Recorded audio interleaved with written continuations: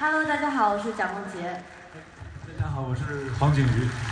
呃，今天呢，非常高兴和景瑜一起颁这个非常有意义、非常有意思的一个奖。对对，我们今天要颁的是最佳儿童片奖。没错，其实我小时候也很爱看很多电影，呃，印象最深的一部是《大闹天宫》，你呢？啊，《大闹天宫》是我小时候最喜欢看的电影，因为那是一个动画片嘛。对。它也是在动画片里一个不朽的经典，然后我相信这部片也是很多人的儿时的童年的回忆。没错，这是我非常美好的一个回忆。希望今年呢也可以再续经典。那么接下来我们就接下来请看大屏幕。获得第十六届电影频道电影百合奖最佳儿童片奖的影片是《都是为你好》。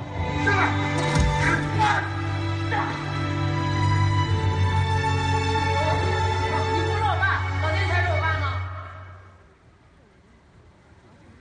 恭喜最佳儿童片《都是为你好》。